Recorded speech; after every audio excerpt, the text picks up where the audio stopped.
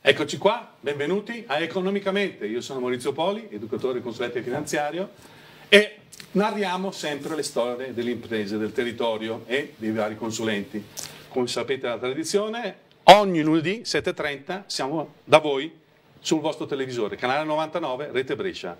Ma passiamo subito a, presentare gli ospiti, che sono numerosi e sono molto felice di avere qui la Federazione dei Trasportatori Italiani, l'Associazione Provinciale di Brescia. Passo subito alle presentazioni. Il Presidente, benvenuto Presidente, eccoci qua, eh, che è qua con noi, che ci parlerà più avanti di altre cose che andiamo a interrogarlo. Il Vice Segretario, signor Giuseppe, benvenuto, benvenuto. La segretaria è il vero motore della FAI, così lo dico subito, così è il vero motore del, del, dell'autotrasporto bresciano e nazionale, conosciuta a livello anche nazionale. Benvenuta signora Mossetola. Bene, grazie. Benvenuta. E poi abbiamo lo storico presidente, eh, no, presidente attuale presidente onorario, Antonio Petrogalli, che conosco, mi conosce, ha la sua sfortuna di conoscermi da anni e anni e anni anni, ma è un grandissimo presidente, una grandissima persona che lo scopriremo in questa trasmissione. Ma passiamo subito al presidente Sergio Piardi, benvenuto innanzitutto. Grazie. Grazie che qua con, ha accettato l'invito, eh, capisco bene gli impegni, ma Andiamo subito perché gli autotrasportatori, CGA di Mestre, dopo arriverò alla domanda che farò alla Presidente, di, alla Segretaria Mussetola, eh, sono in forte calo dal punto di vista proprio numerico e poi i problemi sono tanti all'ordine del giorno, anche perché se pensate che l'80% delle merci viene consegnata con l'autotrasporto, quindi quello che ci arriva nelle farmacie, sulla tavola, per vestirci, qualsiasi cosa che abbiamo nelle nostre case, nelle nostre fabbriche, nelle nostre aziende viene dall'autotrasporto. Se eh, immaginiamoci di non avere più gli autisti e non ci arrivano più le merci a, a casa, in questo momento qua storico è così. 80% delle merci viene consegnato da questi degli autotrasportatori che sono qua con noi. Però c'è un grosso problema, ad esempio, al nord dell'Italia che è fatta stivale, eh, che noi, l'export, le imprese italiane se non esportano eh, è un grave problema, chi porta le merci all'estero sono gli autotrasportatori. Brennero, i valichi, grandi problemi, vero Piardi?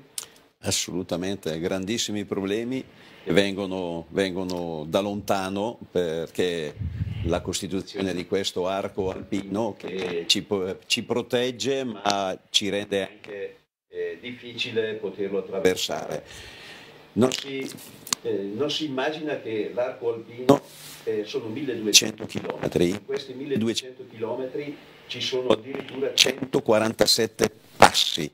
Sembrerebbe che fosse la cosa più semplice poter attraversare e portare quella che è la nostra economia e i nostri prodotti nel resto d'Europa. Il Made in Italy all'estero. Ma non è così, non è così. Andando ad analizzare tutti questi passi uno a uno, uno a uno, eh, tutti hanno delle problematiche, tutti eh, osteggiano eh, questo passaggio, cominciando dalla frana del Treius, dalla chiusura del Monte Bianco e così eh, proseguendo. Il Brennero, il Brennero è diventata eh, l'ossessione, forse anche la mia ossessione stessa, perché facendo trasporti internazionali la maggior parte dei passaggi li vado a effettuare al Brennero e perché è diventata un'ossessione? Perché eh, abbiamo un altro paese sempre che eh, fa parte della comunità europea, l'Austria, che ci mette in continuazione dei paletti nelle ruote come modo, e code interminabili al valico, code interminabili.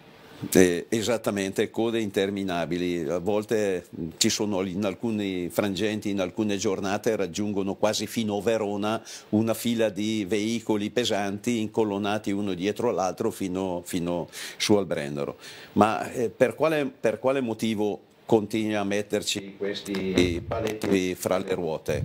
Eh, naturalmente loro si arroccano sotto eh, il fatto del, eh, che, che diventa eh, il, sul punto di vista eh, ecologico, quindi le emissioni in atmosfera attraversando il loro paese, superamento, superamento de, eh, dei, dei limiti de, consentiti, però tutto questo eh, è solo, non è vero, non è vero perché non ci sono superamenti di soglie, il parco veicolare degli autotrasportatori italiani e non che attraversano il Brenner ormai sono tutti Euro 6, però loro continuano, hanno iniziato prima a mettere, c'erano gli ecopunti, poi dopo hanno cominciato, hanno messo il divieto notturno, poi dopo hanno ristretto il divieto alle, eh, a secondo delle classi dei veicoli, poi dopo eh, hanno messo il divieto per delle classi merceologiche. E così continuando eh, oggi ci ritroviamo in una situazione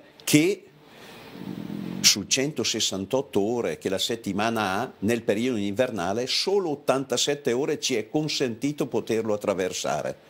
E questa qua la dice lunga di quanto possono essere, come possa essere difficile questa situazione, ma non è che è il trasportatore che subisce eh, tutte queste angherie, no, è il sistema economico del nostro Paese, perché attendere eh, prolungare i tempi di transito sta a significare fare dei danni all'economia del nostro Paese. A volte mi dico, ci mettiamo sempre noi autotrasportatori in prima fila a mettere in evidenza eh, queste problematiche, ma dovrebbe essere tutto il comparto economico, quindi cominciando anche da Confindustria che solo ultimamente eh, riesce a, a, esprimersi in tal senso, eh, perché è danneggiato tutta l'economia del nostro, del nostro paese. Il Brennero rappresenta il 50% dell'export in Europa passa dal Brennero. Un collo di bottiglia, insomma, che il parmigiano reggiano, il grana padano, siamo in Padania, per arrivare alla fetta di grana padano in Olanda, faccio un esempio brutale, eh, c'è un collo di bottiglia, disagio per i, i collaboratori, per gli autisti. Immaginate voi a star fermi su un camion, aspettare. Le aziende stesse di autotrasporto, costi, penali, le aziende che de devono consegnare costi, penali, quindi c'è un problema non indifferente dal punto di vista economico, come diceva giusto il Presidente Piardi, per tutto il sistema Italia, per tutto il Made in Italy, per tutto quello che produciamo e per tutto quello che esportiamo. Questo è un problema serio, ma ci torniamo Piardi, ci torniamo perché la lascio là perché la devo, la devo, caricare a molla perché torneremo su questo argomento. Ma voglio subito passare invece alla signora Mossetola. Benvenuta signora Mossetola, grazie che grazie. è qua. Sei grazie sempre molto impegnata, sempre molto... Saluti a tutti. Eh, grazie, grazie che è qui, però il problema che abbiamo detto prima, eh, sì, eh, l'età media dei, degli autotrasportatori italiani va dai 44 ai 56 anni, questi sono i dati della CGA di Mestre la formazione è il vostro, diciamo, la vostro fiore all'occhiello della FAI perché avete una cosa incredibile, aule di formazioni eccezionali e ore e ore di formazione. Tanto guido un camion, cosa vuoi che sia. Invece la formazione, signora Mossetola, per voi? È fondamentale. È fondamentale. Cosa avete fatto di nuovo adesso nel, per quanto riguarda la FAI? So che avete fatto delle cose bellissime, delle aule splendide. Dove sono queste aule? Allora, queste aule sono a Brescia 2 in via Malta, in via Malta 12 e eh, diciamo accolgono circa 2000, più di 2500 allievi tutti gli anni, quindi 2500-2600. Cosa fanno questi? Eh, eh, frequentano quindi i corsi sia obbligatori per quanto riguarda la sicurezza, per quanto riguarda eh, tutto quanto è necessario per i patenti patentini e per le cose, però eh, diciamo che vengono formati per tutte le tipologie di trasporto, quindi dalla DR alla, al trasporto animali vivi, al trasporto dei rifiuti, al trasporto delle cose eccetera. Ogni tipo di trasporto ha una anche merci pericolose, so, anche merci ADR, merci pericolose infatti, e derrate alimentari eccetera. Quindi tutti quanti eh, devono essere preparati. Però alla base c'è la preparazione della patente, la preparazione della patente che purtroppo eh, impedisce di avere degli autisti preparati, sicuri e che possono quindi viaggiare. Perché questo? Perché ci sono tanti motivi, sono innanzitutto eh, un motivo molto importante che sembra eh, non incidere, invece incide tanto, è il discorso del, di chi prendeva la patente al, a militare, il servizio, durante il servizio militare. Oggi non lo può più prendere e quindi ecco il perché, diceva prima, i numeri stanno andando verso le pensioni e non c'è il ricambio generazionale. Poi eh, il, ehm, è importante questo aspetto la, la, la, il, costo, il, costo, di queste patenti superiori, che sono la patente C, la patente D, la patente E e la CQC, sono tutte patenti professionali che devo, hanno un costo e quindi ecco che magari la famiglia non, non, non va incontro al ragazzo che potrebbe anche, al quale non potrebbe anche non piacere andare poi col camion, quindi è un punto di domanda. Quindi il, il, i ragazzi eh, hanno anche una distanza tra quando finiscono le scuole e quando possono prendere la patente e noi abbiamo chiesto in Europa l'abbassamento di questa, queste date per cui ecco che anziché eh, finire, finire la scuola superiore a 20 anni anni e subito iniziare la, eh, le, scuole, le, scuole, che preparano a, ad ottenere la patente. Quindi questo è importantissimo e quindi questo abbassamento dell'età eh, certamente poi seguiti da formatori. Da tutor, da tutor esperti da come tutor avete voi. Esperti, esatto. Una volta si andava con i due autisti sul camion, certo. adesso invece si va con uno ma si, si dovrà riprendere con due perché? Perché do, dobbiamo, eh, dobbiamo evitare che ci sia quel lasso di tempo tra quando finiscono la scuola e quando possono per, prendere la patente. Se non la scuola scuola, scuola lavoro in cabina del camion, quindi in scuola lavoro nella cabina del camion, quindi formazione è come, come dicono quelli bravi inglesi, learning by doing, cioè imparando facendo. Quindi questo è importante che fate voi, lo state già facendo, le richieste ci sono perché nei prossimi dieci anni la metà, la metà, nei prossimi dieci anni, non dico mica io, lo dice la CGA di Mestre, la metà degli autisti presenti eh, sono nelle vostre aziende associate a voi vanno in pensione, quindi eh. e scompaiono. Quindi le merci è un problema serio, non è un problema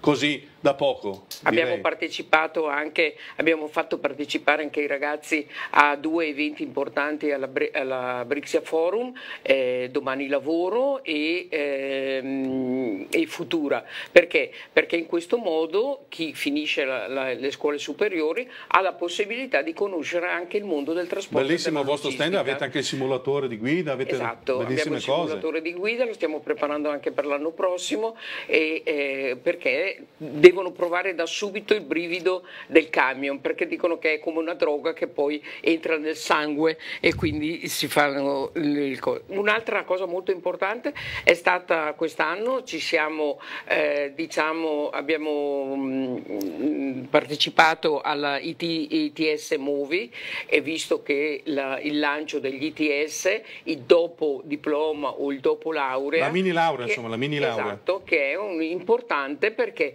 perché si unisce eh, la, la teoria alla pratica e quindi anche in questo caso oltre che prima abbiamo detto per i formatori, ecco che eh, imparano da subito le materie legate al mondo del trasporto e della logistica. Ha dato un bellissimo spunto la, la segretaria Mussetola dicendo che l'ITS, i ragazzi quando fanno l'ITS nei due anni sono già stipendiati, prendono già dei soldi, esatto. quindi studiano la mattina, la mattina fanno prove pratiche e poi il pomeriggio vanno a studiare o viceversa, viceversa. a seconda dell'azienda, quindi però percepiscono già un reddito, quindi le famiglie dicono aspetta un attimo che però dopo i due anni dice benissimo, ho questo personale formato che mi, le spedizioniere, magari uno in ufficio che organizza, magari uno che è sul piazzale a gestire il, le movimentazioni del piazzale. Non c'è solo l'aspetto di guidare il camion, no, c'è anche l'aspetto manageriale da poter... Figure tante mancano, figure. Quindi non è solo l'inquadramento dell'autista, ma torneremo dalla signora Mussetola, grazie. E non vedevo l'ora di arrivare al presidente Petrogalli, Antonio, benvenuto. Come dice, mi dici spesso, dici la, la FAI è la casa degli autotrasportatori, mi dice qui vengono accolti e trovano tutti i servizi che possono essere utili per quanto riguarda, io lo vedo, ho frequentato ho avuto l'onore e il piacere di essere da voi con, con i piccoli corsi di formazione, ma ho visto i collaboratori sempre al servizio di chi entra dentro e mette un piede alla FAI qua a Brescia, che trova subito accoglienza e la soluzione al suo problema. Questo date voi. Però a te Antonio arrivo a un problema che c'è su tutte le aziende di autotrasporto. Da quanti anni guidi il camion tu Antonio? Da quanti anni sei autista? Dal 53 in poi. Dal 53 in poi. I costi però nel 2024 per le aziende, l'aumento dei costi che ci sono, dobbiamo parlare anche di questo Antonio, purtroppo il denaro c'è, i costi delle aziende dell'autotrasporto, dammi alcuni riferimenti, darli a chi ci seguirà sia sui social che in tv, diciamo i costi che c'è adesso nel 2024. Caro Bolli, aiuto. Aiuto. I il nostro Presidente, la nostra segretaria ti ha illustrato eh, due problematiche molto importanti, ma abbiamo anche il problema economico che secondo me eh, non è da sottovalutare, nel senso che il detto che l'autotrasportatore salga sul camion per divertimento deve essere sfatato, perché chi investe nell'autotrasporto eh, lo fa con passione, però alla fine lo fa per portare a casa la pagnotta, se la vogliamo Per un reddito aziendale, per la sua famiglia, per la sua azienda, insomma, eh, eh, se no, siamo qui, in, i conti, come dicono i conti della serva, uno più uno fa sempre due. Vedi, ci sono sulla parte economica eh, farmi una domanda è come, eh, è, è, come, è come, ti do una risposta sì, già secca, dammela secca. Secca. Se continuiamo sulla strada che, che abbiamo seguito negli ultimi 50 anni, forse eh, qualcuno si accorgerà che il mondo eh, senza l'autotrasporto non sarà così migliore di quello che è oggi. Però vedi, noi trasportatori, eh, come ti dicevo prima, alla fine investiamo e investiamo per avere un reddito certo. che è più che, che, che, positivo. Come tutti gli imprenditori. Come imprenditori. Come Però vedi, imprenditori. noi ci scontriamo ti do qualche dato così. Dammi, dammi qualche dato. Un camion che un anno e mezzo fa valeva, costava 120, 100 mila euro, oggi costa 125 mila euro. Porca miseria. Il gasolio. Ecco.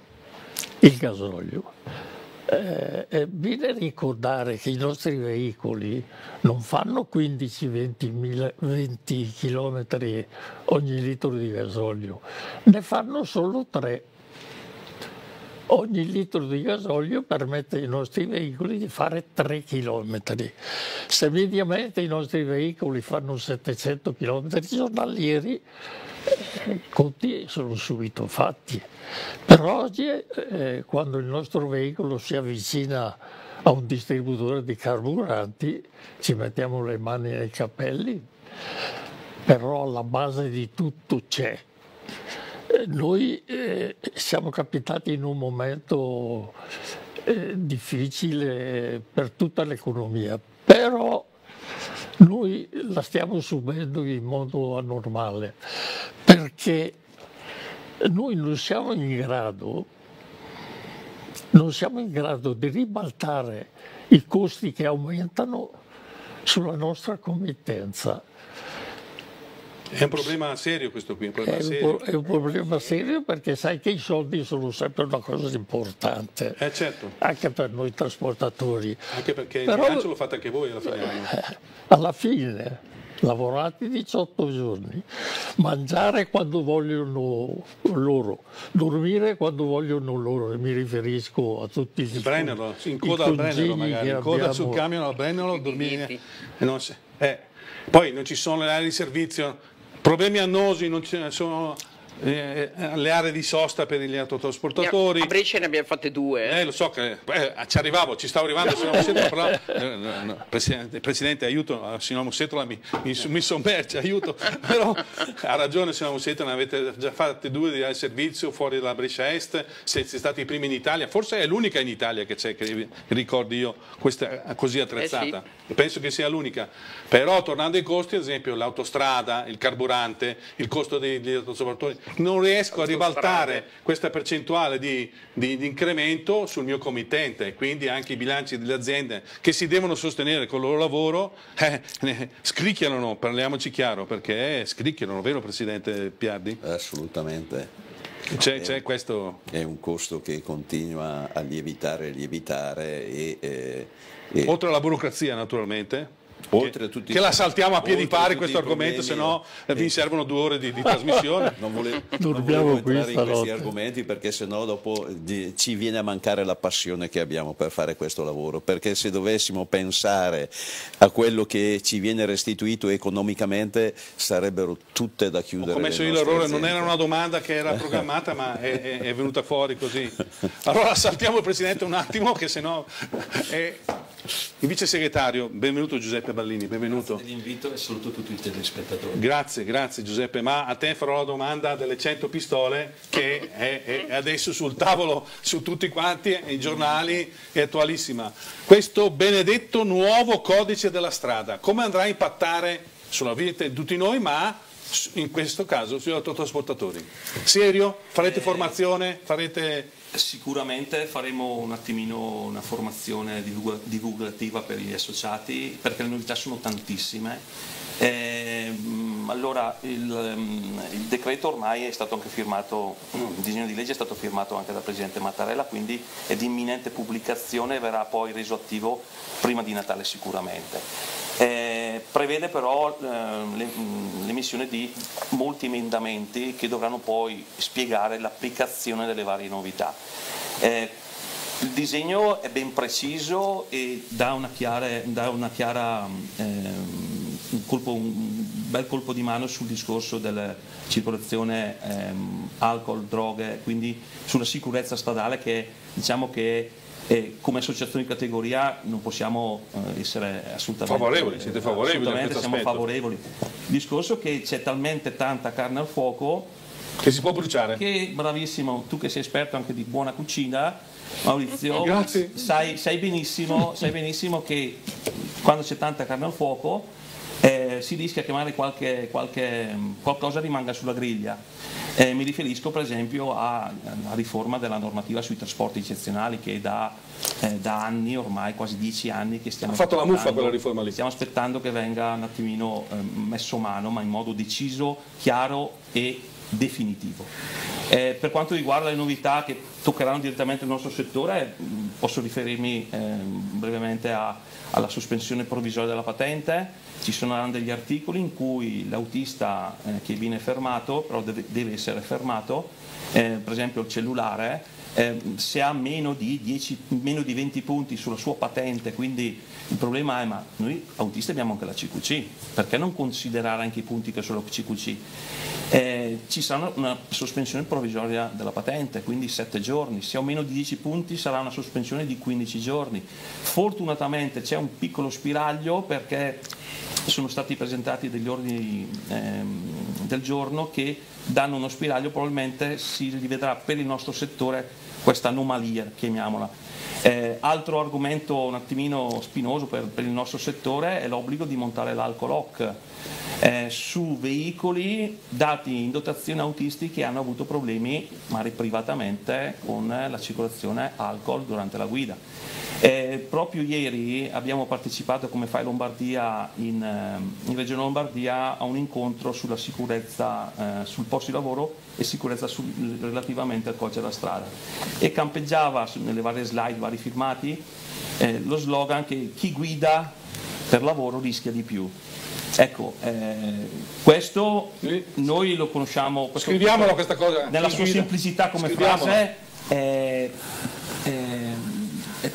tocca direttamente il nostro settore perché noi tutti i giorni siamo sulla strada E, e la, la, diciamo, la, visione che abbiamo è sicuramente la sicurezza stradale, però poi mh, di riflesso faccio un ragionamento che magari potrà anche scuotere l'animo di qualcuno, però quello che noi vediamo sui controlli sulla strada, adesso come adesso, specialmente da parte di qualche amministrazione comunale, quindi collegato col discorso polizia locale, eh, lo dico io. Abbiamo, no, lo dico io perché ci tengo, eh, è un argomento che tutti i giorni gli associati mi portano sul tavolo. Okay. Che ehm, se durante la pandemia ci chiamavano eroi insieme a altre categorie perché portavamo la merce per riempire gli scaffali, adesso la sensazione, la percezione che abbiamo noi come cittadini, utenti della strada e lavoratori è che facciamo cassa continua per, questi, per queste amministrazioni comunali. Ringrazio la regia che ci sta facendo vedere i vostri filmati, che ci ha fornito il vostro ufficio stampa. Guarda caso, proprio la polizia Bravissimo. che ti ferma un camion. Ecco, è una formazione un po', un po prendo, anche, no. prendo anche, la responsabilità di quello che sto la dicendo, però tant'è, tant'è perché quello che stiamo vedendo sulle strade in molti comuni mm, del nord Italia, perché noi conosciamo mm, maggiormente la, la, la realtà del nord Italia. E poi l'altra riflessione è sì rispettare le regole, ma ricordare a tutti che dal 2005 c'è una legge, la legge della, della responsabilità, la, la, la legge della, della, della, filiera, dove per certe violazioni del codice della strada non è responsabile solamente l'autista o il proprietario del veicolo, ma anche il committente, il caricatore, il proprietario della merce. Un'attesa davanti a una, una, una, una GDO, comunque un impianto, un supermercato, una, piattaforma. una piattaforma alimentare per un autista di 5-6 ore non può aiutare la sicurezza non credo proprio, non credo che proprio. poi tra parentesi non è neanche ritribuito ringraziamo il vice segretario Giuseppe Ballini. Grazie. lo devo interrompere perché avremo bisogno di una puntata di tre ore per parlare di questa cosa. Però la FAI sarà presente come diceva con la formazione. Però un'ultima domanda il tempo è volato alcuni minuti Presidente la riservo a lei Dica. perché un'azienda di autotrasporto dovrebbe associarsi alla FAE? Perché dovrei venire nella casa degli autotrasportatori? Perché dovrei fare questo passo e associarmi a voi? Cosa, cosa dice Presidente? La metto un po' in difficoltà. Perché dovrebbe farlo? No, non, è, non, non, si, non sono in difficoltà a rispondere a questa domanda, perché semplicemente eh, dico, se non ci fosse la FAI sarebbe meglio. E io dico di no. Dico di no perché fortunatamente c'è la FAI, fortunatamente ci sono le associazioni, fortunatamente ci sono i corpi intermedi che sono quelli che portano avanti quelle che sono le nostre tematiche. Se non dovessimo avere questa possibilità che oggi con tutte le difficoltà che abbiamo ne avremo molte ma molte ma molte ma molte di più e eh, io ringrazio in primis, la rappresento, ho l'onore di rappresentare i trasportatori bresciani ma se non avessi avuto la FAI non, avrei, non sarei neanche riuscito a sviluppare come ho sviluppato la mia azienda e come si portano avanti le tematiche del trasporto in Italia e sarebbe addirittura un danno a tutta l'economia. Ok, devo ringraziare devo concludere la puntata, ringraziare sicuramente il nostro sponsor Ital Preziosi, perché eh, economicamente eh, si regge anche sugli sponsor, che ringraziamo, l'Associazione Nazionale dei Consulenti Patrimoniali che ci dà il patrocinio, ringrazio la segretaria signora Mussetola, grazie che è venuta a economicamente, lo storico presidente Petrogalli, grazie che mi hai fatto un grande onore venire nella nostra trasmissione, il vice segretario Giuseppe Ballini, Presidente, Abbiamo ancora molte cose da dire. Nel 2025 spero di avervi ancora ospite con le novità, con la formazione, con le novità che ci saranno, perché ci tengo. È un'associazione, è una categoria che ci tengo molto a divulgare le loro problematiche e i loro punti di forza. Quindi nell'augurarvi, perché ci sono imminenti festività natalizie, ai, ai vostri associati e a voi buon Natale e un buon anno 2025 nonostante tutto, nonostante tutto. Vi rimando lunedì prossimo con Economicamente, ore 7.30. Grazie di essere stati i nostri ospiti. Alla prossima. Grazie.